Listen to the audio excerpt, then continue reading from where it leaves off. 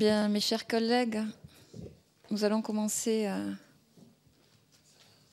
notre réunion de la Commission euh, des affaires économiques et nous avons euh, le plaisir aujourd'hui, et je souhaite vraiment le remercier, d'accueillir Monsieur Marwan Laoud avec son équipe président d'Airbus Group SAS, le directeur général délégué à l'international et à la stratégie des affaires publiques d'Airbus Group. Nous avions euh, calé euh, cette audition un peu en amont dans le temps et puis euh, nous avions eu, nous, la commission des affaires économiques, un contretemps dû à un texte qui nous avait été programmé alors que nous avions programmé cette audition et je remercie beaucoup M. Laoud pour sa compréhension de bien avoir voulu décaler cette audition, mais ça nous permet peut-être justement d'avoir eu un peu de recul euh, au regard de l'actualité du groupe, euh, notamment par rapport au plan de restructuration. Et peut-être finalement, ce n'est pas plus mal, car euh, malheureusement, la fin de la session approchant, c'est certainement la dernière audition que nous aurons ensemble dans cette configuration. La prochaine sera laissée nos successeurs. Donc Airbus, euh, fleuron euh, de l'industrie aéronautique spatiale de défense au niveau européen, au niveau mondial, dont nous sommes tous collectivement très fier, je peux vous le dire. Il y a un peu plus d'un an, euh, nous étions, euh, et un certain nombre de députés sont présents euh, dans cette commission. les bureaux de la commission étaient à Toulouse, où nous avions été reçus avec une visite de tout le site, des échanges avec les, responsables notamment, et puis vous dire combien nous avons apprécié d'une part cet accueil et les échanges que nous nous avons Vous dire que effectivement, euh, vous allez vous-même le rappeler, mais euh, c'est quand même euh, une fiche assez impressionnante pour Airbus, avec une croissance exceptionnelle de 2000 à 2015 de plus 663 avec euh, le leader mondial et européen au numéro 1 mondial sur l'aéronautique civile, les hélicoptères, numéro 2 mondial sur les satellites, numéro 2 européen sur la défense, chiffre d'affaires 2015 64,5 milliards. Et puis, euh, vous allez nous en parler également, il y a deux jours, euh, un contrat de 80 à 320 Neo avec une option pour 40 autres appareils qui a été signé avec une compagnie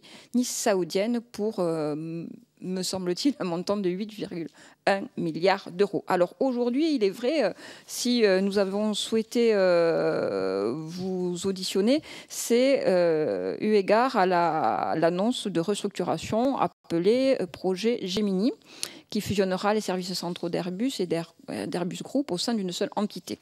Et avec, vous nous en direz plus naturellement, l'opération qui serait effective à l'été 2017. Cette fusion se traduirait par la suppression de 1164 postes d'ici la fin 2018, dont 640 en France. Euh, beaucoup d'inquiétudes, bien sûr. Certes, nous savons que de telles restructurations ne sont pas spécifiques à Airbus, on en a bien conscience. Qu'en 2016, Boeing a annoncé la suppression de 4550 postes et Bombardier de 7500 dans ses activités aéronautiques et ferroviaires. Mais il est vrai que, euh, au regard euh, des résultats, bien sûr, c'est ce que l'on regarde du groupe, et au regard notamment du bilan avec 731 commandes d'appareils, ce qui vous place en numéro mondial en termes de commandes, ce qui est extraordinaire, il faut bien le reconnaître. Euh, nous avons euh, un certain nombre, disons, d'inquiétudes et nous souhaitons justement faire le point sur cette restructuration et les suites qu'elle peut, les conséquences qu'elle peut entraîner.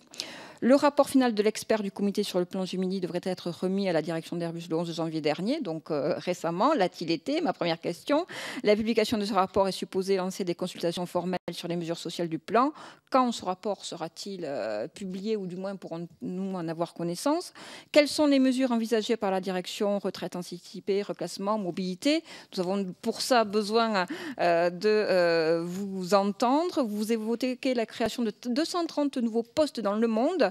Pouvez-nous nous préciser ces créations de postes feront euh, dans quel domaine et euh, localisées où également, notamment au niveau de la France? Les 640 postes annoncés en suppression en France, de quel type d'emploi s'agira-t-il? Sur le plan international, les intérêts d'Airbus sont très importants au Royaume-Uni. Les conséquences par rapport au Brexit, pouvez-vous également nous éclairer là-dessus? Les syndicats craignent une plus grande délocalisation vers les États-Unis dans les années à venir. Euh, qu'en est-il?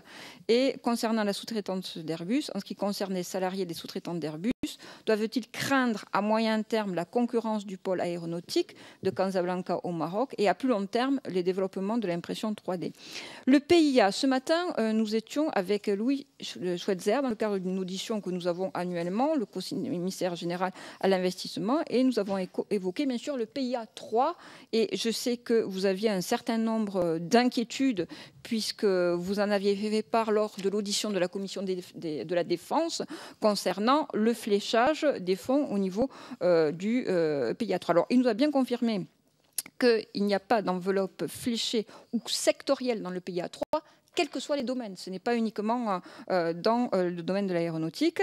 Et c'est ainsi qu'ils ont souhaité travailler. Mais en revanche, les enveloppes ça nous a été expliqué ce matin, sont attribués en fonction de la qualité des projets, d'un appel d'offres qui est lancé dans tous les domaines. Et naturellement, euh, il a de nouveau répété que l'aéronautique serait bien présente dans les priorités au niveau du pays à 3 donc, euh, par rapport à, ces, mesures qui sont quand même assez importantes, puisque euh, des, subventions importantes au niveau du PIA 3, notamment dans l'aéronautique, sont susceptibles euh, d'être accordées à ces secteurs. Donc, moi, je souhaiterais savoir, au regard de, bien sûr de, ce que nous a dit le commissaire ce matin, vous quelles vont être par rapport au pays à 3 euh, votre attitude, du moins ce que vous allez pouvoir en, termes de projet. Et effectivement nous espérons surtout vous rassurer quant euh, au pays à 3 et aux conséquences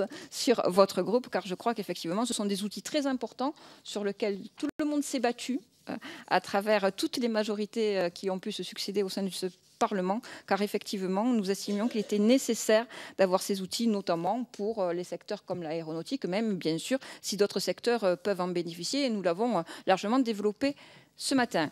Encore merci pour votre présence. Je vous laisse sans plus tarder la, parole. Vous avez le temps que vous souhaitez. Vous connaissez, puisque vous êtes déjà venu à plusieurs reprises devant notre commission, le principe. Nous passerons la parole aux orateurs du groupe et ensuite, naturellement, les parlementaires seront amenés euh, à eux-mêmes euh, s'exprimer et vous questionner. Merci encore, je vous laisse la parole.